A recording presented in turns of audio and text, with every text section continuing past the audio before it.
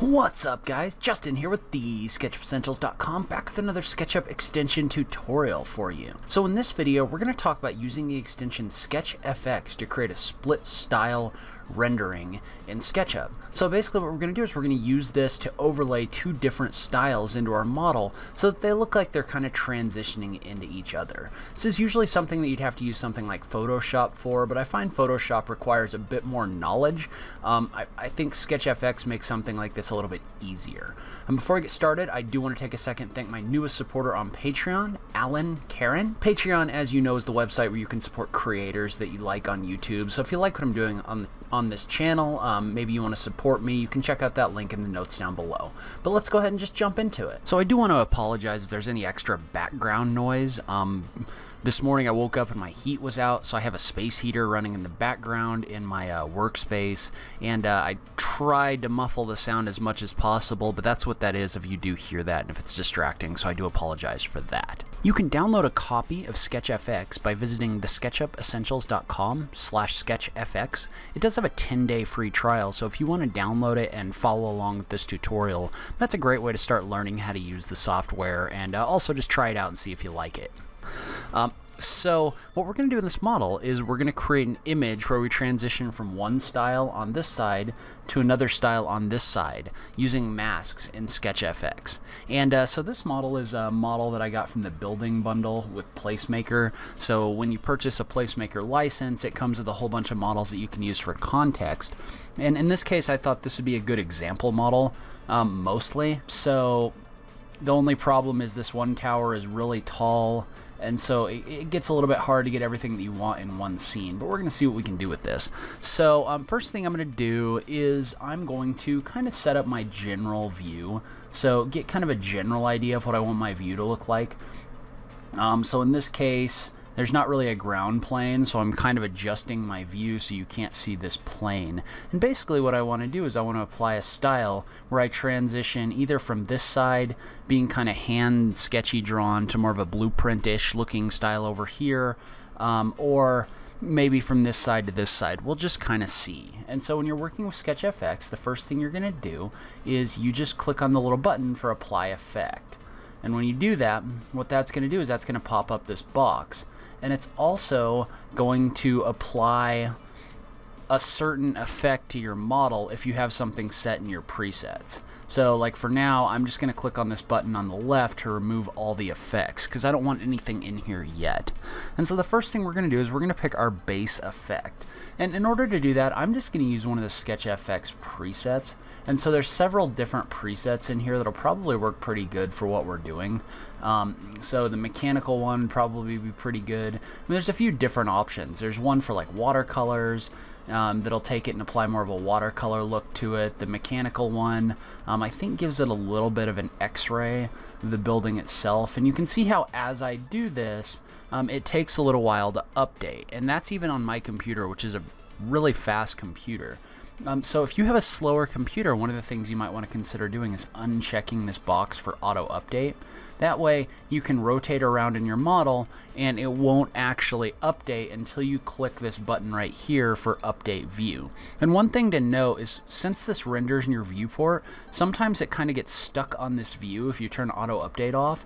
So probably all you need to, or in this case, all you need to do is just tap that space key in order to get back out of that. So if you get kind of locked in there, that's how you get out of that. So if you turn auto update off, you adjust your view, you can just click this button right here to update your view and re-render it. That way it's not re-rendering every time you move around at all in your model. And so I'm going to turn auto update back on.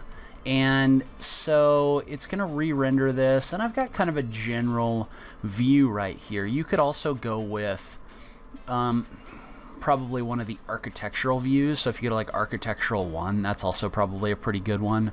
And the other thing I want to know is if you have a license for ambient occlusion, which is their rendering program, um, any of these that have the AO after them means that it'll actually render your model in ambient occlusion and then it'll apply the effects to it. So, um, but you can see that's going to take significantly longer because it's basically rendering it twice.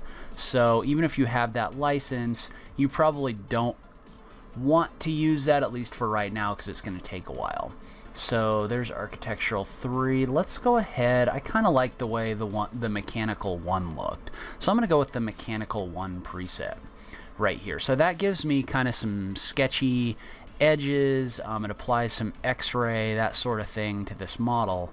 And so now you've got all of these settings in here that all are associated with this view that it's applying right now, um, which is fine. So what we're going to do is we're actually going to come in here and we're going to add another effect down at the bottom. And the effect that we're going to add is called a mask. And any of you that know, well actually we're going to add a style first. So you're going to come in here, you're going to go to the bottom of the page. And by the way, this applies things um, in a top to bottom way. So the things at the bottom that are applied on the bottom of your model um, are going to show up at the top over here. And so what that means is as you layer things on top of each other, the things at the bottom are going to be the things that are layered on top of everything else over here. And so what we're going to do is we're just going to click the plus button. We're going to go down and we're going to add a style. So in this case, we're just going to click the drop down, find style, and click OK. And what that's going to do is that's going to apply a style down here below all of your other effects. And so what we want to do is we want to select one of our styles in our SketchUp model. Because right now, um, it's not applying a style. You can see how the default style is none. And so what we're going to do is we're going to click this little button right here and we're going to tell it which style to apply to the model. So we're going to click this button and then we're going to go up and we'll look at a couple of them. So this is what the blueprint one would look like. And you can see how it kind of merges with the rest of the styles that we've already applied in here because the opacity is set to um, 0.5. So if you were to drag this all the way across, the opacity would be set back to 1 and you wouldn't be able to see any of the other effects. So for right now, let's see, maybe I'm going to go ahead and turn the opacity all the way up to 1 just so I can kind of look at what these do. So in this case, I may, I'm probably going to go with the pencil on tracing paper style. Um, just because I like the way that it is kind of more hand-drawn looking. And so so you can see how if I leave the opacity at 0.5, everything kind of shows through.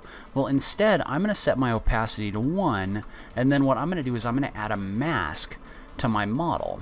And so adding a mask basically tells SketchFX that there's um, that you want to hide some of your model or that you only want to apply this to part of your model. And so what we're going to do is we're going to click on the style and then we're going to click the plus button. And the reason we want to click on the style is because we, this is going to be a child of the style option.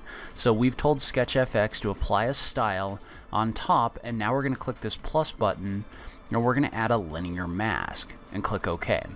And so what a linear mask does is it basically draws a line across your screen and it tells SketchFX to apply this effect, so in this case this style, which we can go ahead and rename pencil style just so we can tell what it is in this list over here. Basically, it's telling pencil style to only apply itself to the masked area. And so you can adjust where that mask is. Like for example, I can come in here and I can set the angle to 45 degrees and you can see how what this is going to do when I set this to 45 degrees is this is actually going to turn the angle of the mask. So now I'm masking this style across this model this way. So you can adjust that. Maybe I set this to 35 or maybe I set this to 55 degrees. And then you can also adjust where it is on your model. So you can see as I drag this slider, it's moving it across. And then you can also move it up and down by adjusting the Y. So you can adjust the X and the Y factors on here to adjust where this mask actually shows up. And so in this case, what I've got now is I've got my kind of hand-drawn style over here, and then you can see how as it comes across, we're transitioning into the style that was below it. And so in this case, kind of what I want is I want basically this half of my model to have the pencil style and the other half to have the other style. And so I'm just going to mess around with this until I kind of get the look that I want. Because I want to be able to move this across so that a little bit more of this building gets picked up. But I don't really want it to apply to the top of my building over here because I want this piece of the building to be more of this uh, kind of blueprint-ish style. And so we're going to call this good enough for right now. And so now what we're going to do, um, and one, one other note real quick is if you check the box for invert mask, what that'll do is that'll flip your mask so that your front side here, so basically it's masking it the other way. So if you invert the mask, then you're basically telling it, okay, everything on the other side of the linear mask that I drew is what I want this to be applied to. So we'll leave this as is for right now. You can see how that's really easy to switch, so we may mess around with that in a bit. But now what we're going to do is we're going to add a sky. And so in order to add a sky, we're going to click the plus button, and we're going to go down and we're going to select image from file.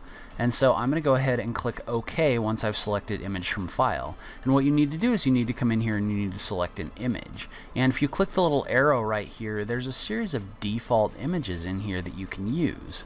So you can see how when I brought this in,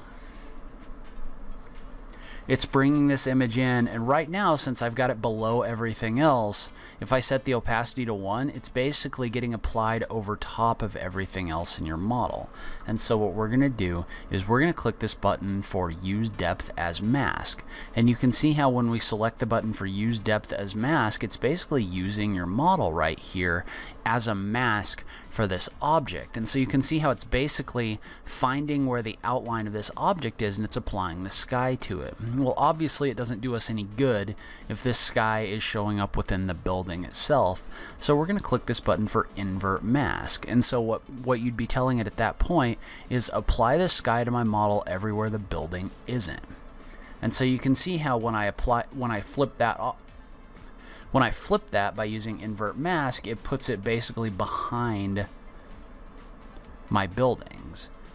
And so you can see how though we're kind of losing a lot of our uh, our effect over here because we only want the sky to be behind this more photorealistic or not even photorealistic but the more detailed option over here. And so what we're going to do is we're going to do the same thing as before where we're going to add a linear mask to your image. And we can go ahead and call this sky just so we know what it is in our list. But then you're just going to click the plus button and you're just going to apply one more linear mask. So go ahead click the plus button, click the drop down and select linear mask and click OK. And you can see how that did the same thing as the other one, where it's basically starting off applying a mask straight up and down. Well, all I'm going to do is I'm going to copy these values from here over to the other linear mask. And so one trick you can use in order to do this is you can use the snipping tool in Windows to take a screenshot of those settings. And then you can click over here and you can just type in those settings so that they match up in your new linear mask. So I'm going to set this to 65 degrees and I'm going to go ahead, I can close this. Alright, so one thing I'm not really liking about the way this looks is there's just kind of not, it doesn't look very good transitioning from this yellow color to the sky. And so what I'm going to do is I'm actually going to try um, going about this a different way and I'm going to select a different style. So I'm going to try probably not the generic CAD dropdown. I'm probably going to try the blueprint style. And so the blueprint style gives us a little bit more um, kind of good transition between this side and this side. And so once we have this transition, um, I'm going to go in here and um, what I'm going to do is on my sky, I'm going to change my blend mode and see what that does to the way that this looks. So the blend mode basically adjusts the way that um, the way that your objects interact with each other. So if you look right now, if I have this set on a normal blend mode, I'm getting this kind of weird overlay like uh, artifact over here so it doesn't look very good. And so what I'm going to do is I'm going to go down I'm going to select the blend mode I'm going to set that to multiply. And so when I set that to multiply you can see how what that's doing is that's taking this and it's kind of like this is also a blend mode in Photoshop where it kind of uh, it kind of averages the colors of the background and the foreground here so that this um, so that instead of getting that weird thing that's blocking your image you get everything kind of averaged out. And you can see how now everything's a little bit dark in here. And so what we're going to do is we're going to apply a brightness. So we're just going to select our sky and then we're going to go down to brightness and contrast and click OK. And so when we add brightness and contrast, what that's going to do is that's going to adjust the brightness of our model. And you can see how right now that's adjusting everything in our model. And I don't necessarily want that. Specifically, what I want this one to do is I want it to affect the sky image that we have right here. So I'm going to click this button for Affect Previous Only. And so now, when I adjust my brightness, you can see how it's only adjusting my sky image. And you can click and drag and kind of adjust your contrast as well. So I'm actually going to rotate this down a little bit and re-update my model so that'll give me this kind of sky image and if you wanted to you could also apply something to adjust like the red green values or something like that um, so I think I'm going to leave that the way it is. The other thing you can do if you want to adjust the way that this uh, basically transitions between the two, you can drag the little size slider. And so if you drag the size slider all the way to zero, what that's going to do is then this transition doesn't blend at all. But if you click the size slider, what you can do is you can kind of adjust this so that there's a little bit more of a smooth transition in your model. And a lot of this is kind of trial and error type stuff, so you can take these principles and you can apply them to uh, making your model look however you want it to look. So and then once you have this set the way that you want it, you can click this uh, this disk button right here to save a copy of your image as like a JPEG or a TIFF or uh, whatever image style you want to save that as. You can also click this save button right here to save this preset for future use. That's where I'm going to end today's video. Leave a comment below. Let me know what you thought. Would you like to see more SketchFX tutorials? Is this something you're interested in? I just love having that SketchUp conversation with you guys. If you like this video, please remember to click that like button down below. If you're new around here, remember to click that subscribe button for new SketchUp content every week. If you like what I'm doing on this channel, please consider supporting me on Patreon. Every little bit helps, even if it's only a dollar a month. So please check out that link in the notes down below. Um, but in any case, thank you so much for taking the time to watch this. I really appreciate it, and I will catch you in the next video. Thanks, guys.